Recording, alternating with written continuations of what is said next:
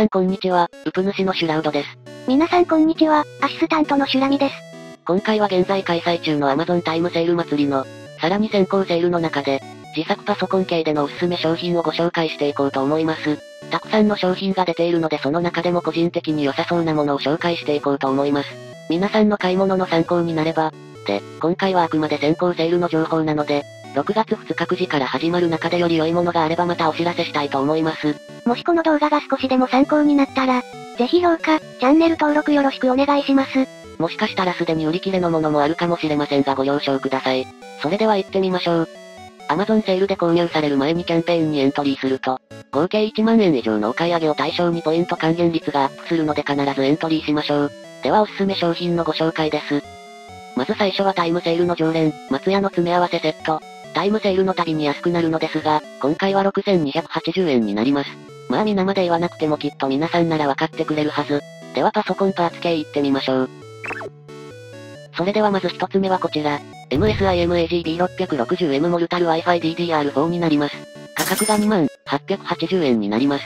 こちらはインテル12世代と13世代対応のミドル向けマザーボードになるのですが、今まで最安でも2万980円だったのが10円さらに安くなりました。え、10円？はい、10円安くなって最安価格になりました。こちらなんですが、Wi-Fi 機能のないモデルもありまして、それだと価格が1万6592円になります。デスクトップは有線 LAN を使って使うって人はこっちの方がいいかと思います。では次。ベーススタッフゲーミング Z790 プラス Wi-Fi D4 になります。こちらも先ほどのマザーボードと同じ、インテル12、13世代対応マザーボードになるのですが、価格が3万5080円になります。先ほどのより高いですが、Z790 という一番ハイエンドクラスのマザーボードになります。ただ、現在及び Amazon の中でも一番最安価格になっていたのでご紹介しました。ちなみにこのマザーボードなんですが、昨年10月に発売された時は、5万5千円ぐらいするマザーボードだったんですよね。え、5万 ?1 年も経たずにここまで値下がっているのもすごいですよね。ということで次。MSIMAGB550 トマホークになります。こちらは AMD Ryzen 5000シリーズ向けのマザーボードになります。価格は1万9580円になります。Ryzen 7000番台が発売されて、5000番台 CPU が軒並み値下がりしているので、それ用に購入してもいいかと思いますし、B450 や A520 のマザーボードを使ってる人はマザーボード入れ替え用でも十分いいかなと思います。私はこれではないのですが、B550 をメインパソコンで使っていて今のところかなり安定して使えてますね。では次。シュラララ。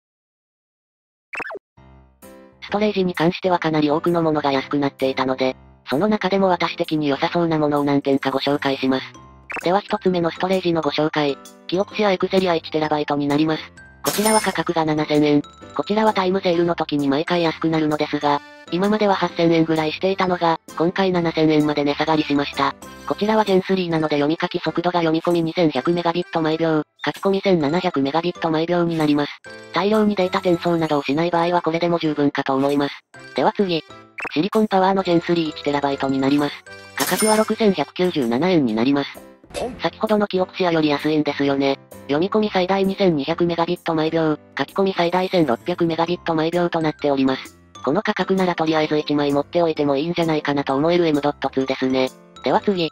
ウエスタンデジタルのブラック SN771TB になります。価格が8962円になります。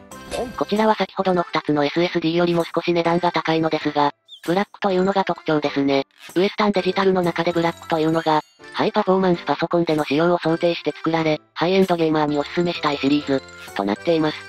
そのため、普通の M.2 に比べて高速性や高耐久な製品となります。メインの C ドライブなどに搭載しても問題ないかなと思います。ちなみに 2TB でも23%引きの18,941円で販売しておりました。安い SSD でも十分な方もいるかもしれませんが、やはりストレージには安心も欲しいですよね。では次。まずは DDR4 メモリから、チームの 3200MHz16GB×2 枚が7980円で販売しております。こちらよく安くなるメモリなんですが、8GB×2 枚ではなく 16GB×2 枚の合計 32GB なんですよね。そんなにメモリ必要ないって方も多いとは思いますが、4枚搭載すれば 64GB になるので、クリエイティブな作業や重いゲームなどにもいいかなと思い紹介しました。では次。クレブの DDR56000MHz16GB×2 枚になります。残りが1点になっているので、なくなっていたらごめんなさい。こちらは通常3万5000円ぐらいのものが2万2980円になっています。最近 DDR5 メモリの値段も下がってきてくれて、だいぶ手が出やすくなってきましたよね。でも DDR4 メモリはもっと安いよ。あ、では次。グラボ一つ目はこちら。MSI GeForce RTX 3060Ti ベンタス 2X になります。価格は5万6536円です。グラボ高騰化も落ち着いてきて、だいぶミドル帯のグラボの価格が落ちてきましたよね。その中で個人的にこの RTX 3060 Ti の価格をずっと見てはいるんですが、5万円台で発売されることが多くなってきたかなと思います。フル HD なら割とあらゆるゲームを快適にできるグラボかなと思います。できたら4万円台まで落ちてほしいところですが、では次。二つ目はこちら。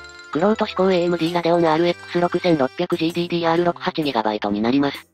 価格は3万101円になります。もうこれ優勝です。フル HD ならこれで十分ですね。もちろんゲームによって快適さが違うのでそこはご確認いただければと思います。え ?RX7600、聞いたことないですね。では次。シュラララ。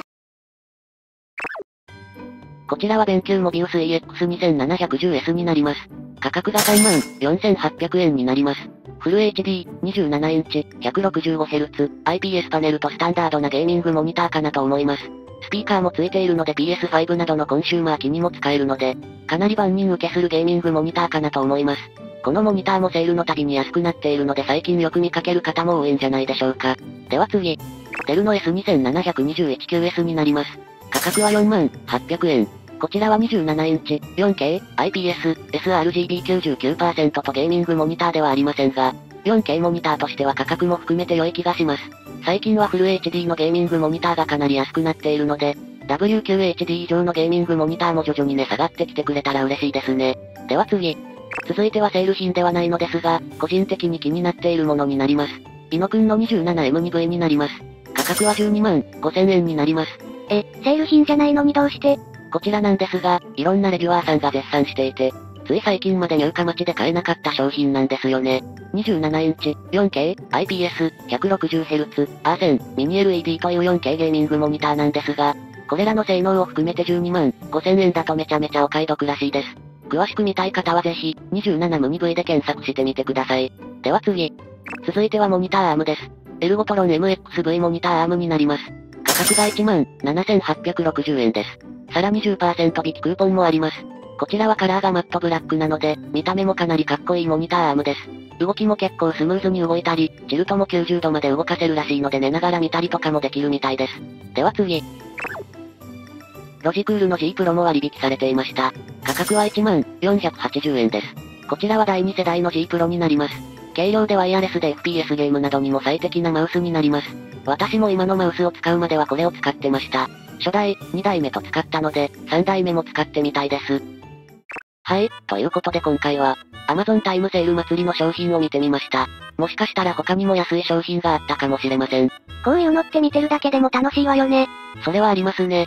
ストレージやメモリに関しては、おそらくかなり今安い状態なので、もし購入を考えている方の参考になればなと思います。ああ確かにそれはあるかもね。もし他にもこんないいものあったよっていうものがあったら、ぜひコメント欄にお書きいただければと思います。ということで本日はここまで。もしこの動画が少しでも参考になったら、ぜひ評価、チャンネル登録よろしくお願いします。ご視聴ありがとうございました。